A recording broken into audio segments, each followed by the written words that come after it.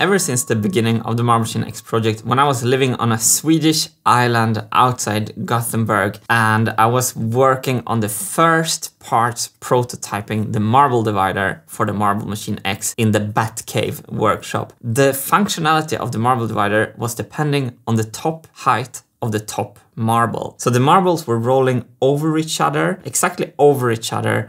And if a marble stuck up too high, the marbles would just stick and the marble divider would not work and that would be a critical failure for the Marble Machine X. If the top marble was too low, the same problem happened the marble queue got stuck and critical failure of the Marble Machine X. Over this long process, I've solved this problem in some different ways. We started with the gray part that had this pipe organ look with this different height of these gray parts so the top marble would stay on top. And that kind of actually worked. But then we moved the gates further down into the machine and I came up with a height module system. At the time with a height module system, I thought this was simplicity defined. You could just slot in and out a height module module and change the height of the top marble.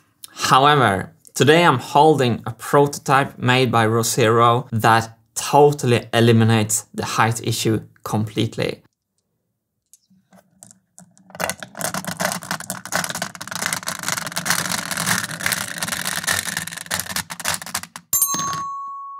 This awesome prototype is made by Rossero and it's based on an idea from the Discord user Nobody. Then the user Locket iterated on the design and in the end Rossero designed the prototype and sent it to me. With the bolts on the front of the prototype, I can shift the height of the marbles. This demonstrates that this design is made to work regardless of the top marble height.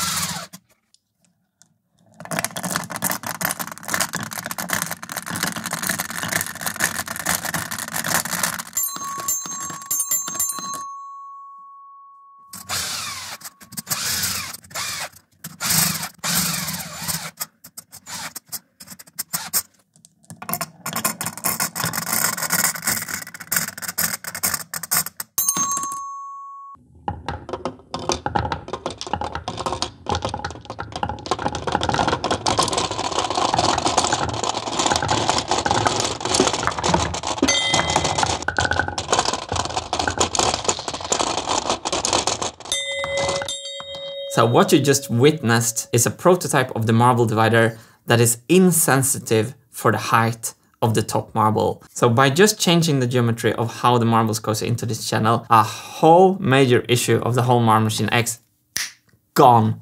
The best part is no part and all these height modules that I've been working on would no longer be needed if I can make this work on full scale on the Marble Machine X. Last week, the clock escapement gate was introduced to the Marble Machine X. And in that video, I claimed that that part would remove a lot of parts from the Marble Machine X. And here are the parts on the table. All these parts are now unnecessary thanks to the clock escapement gate. If this part works, then the height modules are no longer needed. So Bye bye. the best part is no part. This is like a good masterclass for all of us. Like when you have a problem, do you really need to solve it? Can you just make the problem itself go away? Before we say totally goodbye to the height modules from our lives, I want to show you Andre Scher's design for a variable height module that Rossero has printed in 3D printed wood, because this is kind of awesome. So can you spot the 3D print? They're camouflaging really well, actually. So these were my original height modules. They had different curves inside. So when you fill them, the top marble would stick up in different heights. So what I did is that I did a lot of different ones and changed them around. But what Andre came up with was an adjustable design. So in Andre's design, you could slide this part in and out and look what happens with the top marble. It is super nice. And there's a screw here so you can adjust it from the outside. So this is a much more practical solution to this. But let's look inside and let's make a quick part count, see how many parts this is.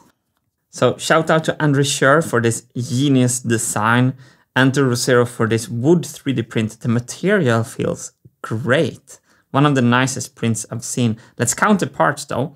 One, two, three, four, 5, 6, 7, 8, 9, 10, 11, 12, 13. Lucky number. 13 parts, but we need 38 of them. That, my friends, is 494 parts. So in total, we have 622 parts that I have to source, manufacture, and assemble. So by just redesigning another existing part, we can totally forget about the whole height issue and save 622 parts. That is good design.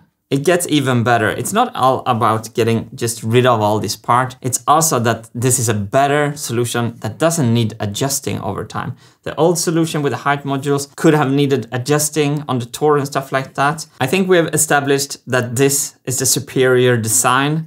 Now it's only one question remaining. Can I get this to work on the machine in full scale? Let's try. I live streamed the CAD session where I took the prototype and made it into something CNC machinable from plywood. I had a lot of great suggestions from the chat that I incorporated in the design. It was super fun and this is the final result. Now I can head over to the CNC machine and start to machine the parts. I'm using a brand new sharp ball cutter that doesn't fray the plywood and I'm using parallel tool paths with a very small step over. This means that the machine steps a little bit to the side, only 0.4 millimeter before it cuts again, which gives a super nice finish.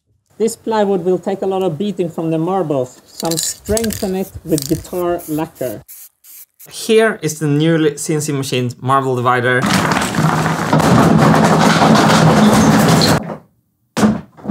Out with the old, in with the new.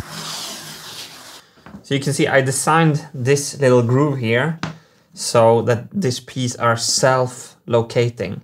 That's I love that when you can design it so there's no question on how things goes together. On the bottom edge here I made a nice fillet so the CNC machine took away all the wood fray. Here I was lazy and didn't do that and as you can see there is some wood fray so now I have to manually take that away. I went ahead and sanded all the parts and I just want to show you the parts before assembling them because these are quite cool for being plywood.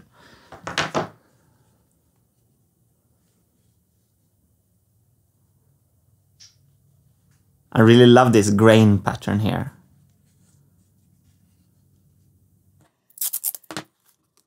If you want to drill to an exact depth, you can put a little flag of masking tape on your drill.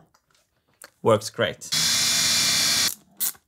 So to transfer a 3D print to CNC machined plywood, I need to take some things in consideration. And I've used one of my favorite techniques. It's a self-locating designs. So you see, I cut a groove in the under part, and I just know that I, if I chuck this piece completely into this groove, the marble lanes will end up perfect. And if we look closely, this is perfectly flush now. So just by adding this bolt hole to both parts, I've achieved a perfect position easily. No measuring, no thinking, it's just perfect. So the outputs are zigzag to make space for these pipes. In the original design, I had to squeeze them, which I don't have to do now. Now you can see the pipes fit perfectly next to each other. And then, meow, comes the little cat and holds the pipe down.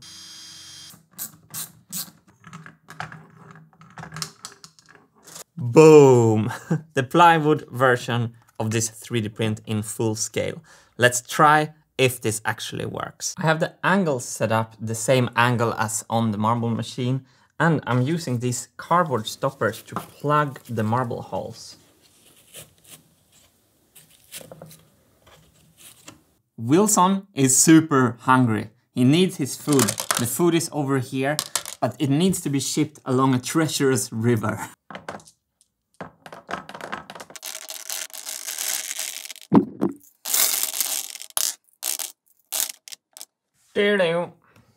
Marbles are stuck here.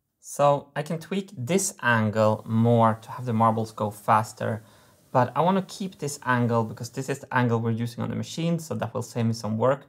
So instead, I'm going to keep on tweaking this angle along the axis.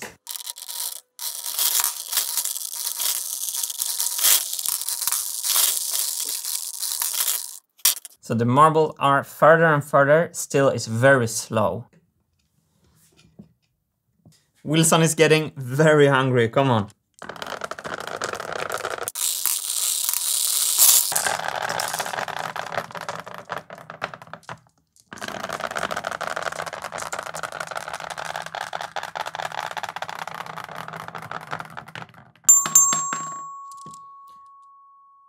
This works great.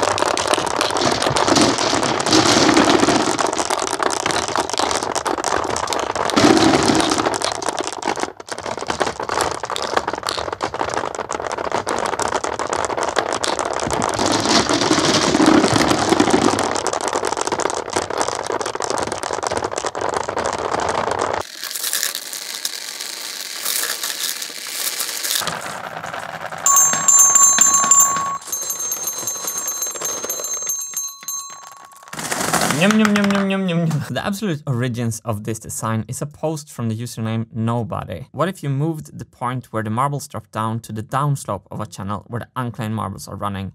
Put together a quick model. This needs to be tweaked, but hopefully the idea gets across. Thank you, Nobody, for sharing this. You changed the trajectory of the Marble Machine X with that single action. So I think Locket Launcher took Nobody's idea and made it into a curve. And the next evolution of this idea on the community is Rossero, who picked it up from Locket and made a video of the first prototype. And once I got my hands on this prototype, game over. Just to show you, this is a trapdoor design by James C. and Sebastian Kirsch. So you can see how the low marble holds the top marble on the top. This is very ingenious. So you can see the top marble is always at the same spot and releases when the channel grow less. This is the Zigzag by Gonzonator. Also very outside the box idea and looks really cool. This is also the trapdoor solution by James Cordery and I'm going to leave YouTube links to all these videos in the description below. Great news for the Marble Machine X, the height independent marble divider totally delivers. So I managed to take the 3D print prototype and make it in full scale in plywood. Next step for me is to put it on the machine.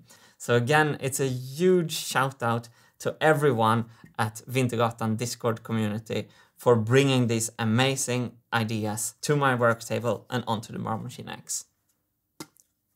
My Marble Machine experts are very high, but I just realized that I don't know what's inside the mole alert from Rossero. Let's check. He has given me clear instructions to never open this box. That means I have to open it, right? Fifteen point seven five millimeter. Do not MMX. that is brilliant. So my marbles are fifteen point eight seven five.